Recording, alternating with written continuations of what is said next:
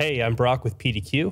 Uh, today I'm going to show you how to identify computers that might be missing Microsoft Office. And this is any version, standalone or Office 365.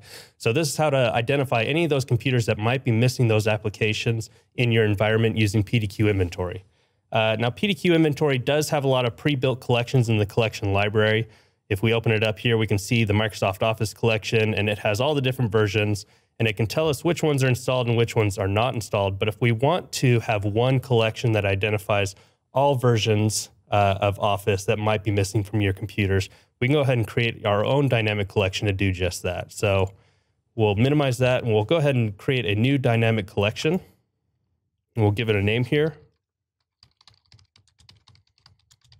All right, so we're going to start off with our all filter and we are going to change this first filter here to never scanned.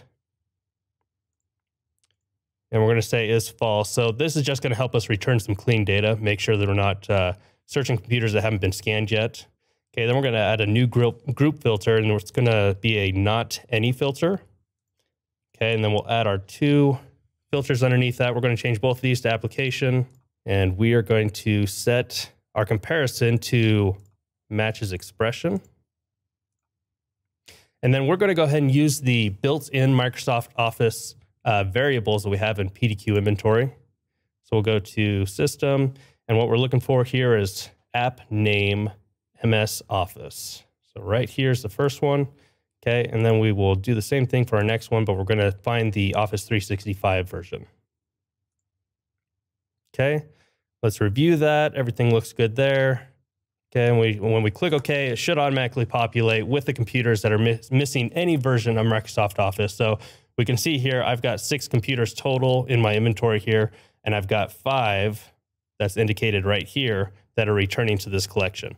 Now, the cool thing with inventory is that it, it makes it really easy to transition from dynamic collections to reports to auto reports. So we can easily just right click on this. We'll go to new and we'll say uh, report from collection. Okay, and this is automatically going to generate a report for us. Okay, and it's just going to return back the computer names, and the uh, the report's just going to be computers that are missing Microsoft Office. So if we save that, the other shortcut we can take is if we just click on Auto Reports right here, I can go ahead and attach this report to any auto auto reports that we've already created, or I can create a new auto report. But I've already got a weekly reports auto report, so I'm going to click that, and then I'm going to save it one more time, and now that's going to automatically generate depending on the trigger that's set with that weekly auto report. Um, anyways, guys, I'm Brock with PDQ. Thanks for watching. Make sure to like, subscribe, and leave a comment if you have any questions for us. All right? Take care.